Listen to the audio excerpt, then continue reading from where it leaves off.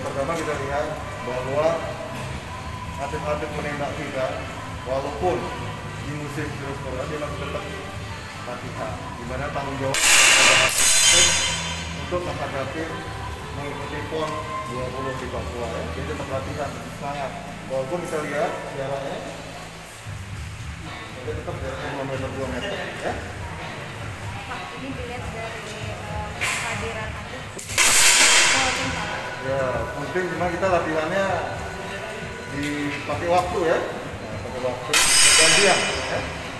Adakah pesan-pesan dari untuk atlet sendiri Pak? Ya, kami mengharapkan atlet-atlet yang masuk untuk menghadapi prapon harus tetap berlatih walaupun tidak bisa maksimal tapi tetap harus menjaga kebugaran badan dan berlatih sesuai dengan instruksi dari pelatihnya ya.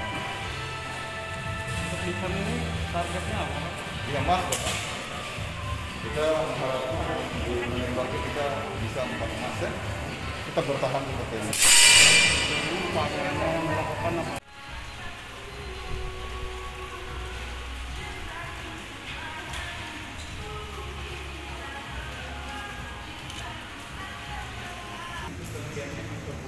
Oh, i- ah.